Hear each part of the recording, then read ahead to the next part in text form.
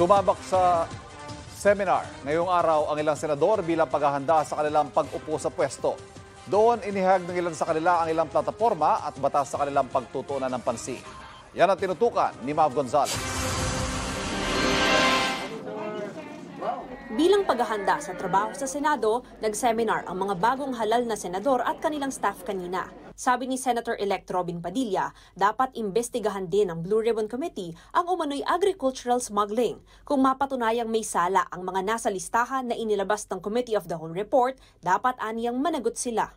Pagka medyo na-imbestigahan ka, unahan mo na kagad ng resignation. Kasi sana magkaroon na tayo ng ganong klaseng delikadesa. Hindi yung pag naimbestigahan ka dito sa ating kasi, nakakapit pa rin, kapit tuko pa rin dun sa posisyon niya. Eh, heinous crime sa akin yan. Dapat yan, hindi lang mag-asawang sampal lang pabaon dyan. Eh. May sikmura pa. Dapat may sikmuraan din. Gusto rin ni Padilla na maging miyembro ng Commission on Appointments dahil natutunan niya raw sa Nubilibid Prison kung paanong kumilatis ng tao.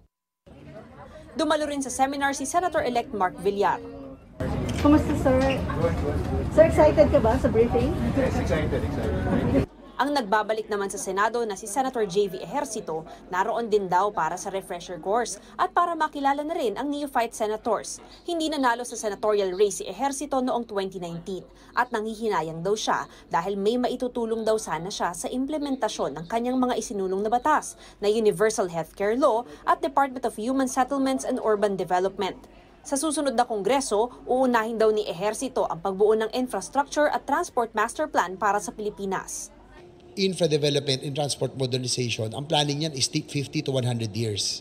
So dapat tuloy-tuloy. We should have a blueprint that the government will follow. Who, whoever sits as president, magbalik, magbalit man ang administrasyon, dapat may blueprint tayong sinusundan. So probably that's one of the first bills that I, I would file. Hindi naman dumalo sa seminar si Senator-elect Rafi Tulfo na nagkaroon na ng one-on-one briefing kahapon.